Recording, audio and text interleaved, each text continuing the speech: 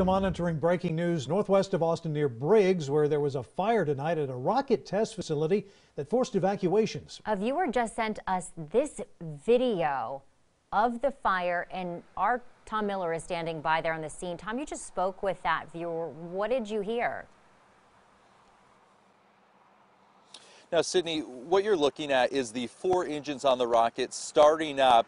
But then the CEO of the company tells us that there is also a fuel leak coming from one of the engines that creates a fireball. So that is also part of what you're seeing in that video.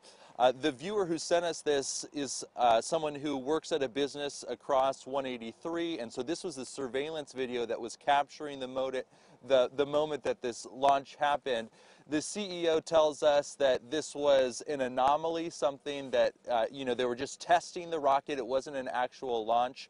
Um, that there was a fire, but there was no major damage as a result of that. And now they just want to meet with law enforcement to figure out how to better respond in the future. Back to you. Tom Miller live in Briggs. We'll have much more on this story tomorrow morning at 4.30 on KXAN News Today. Have a good night.